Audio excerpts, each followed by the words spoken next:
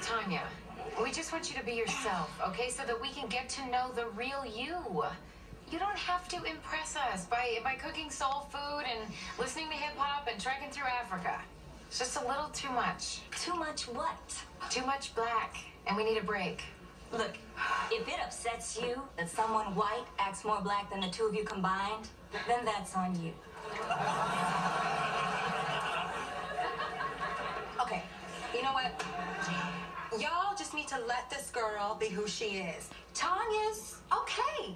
All right, there are plenty of girls like her in my neighborhood. Yeah, guys, it's a multicultural world. I mean, isn't it a sign of progress that the lines between cultures are blurring? They blur, c'est moi. Okay, well, you know what? The blur can stay, but I'm not going to be insulted in my own house. So, Tanya, you've got to leave. Or, um,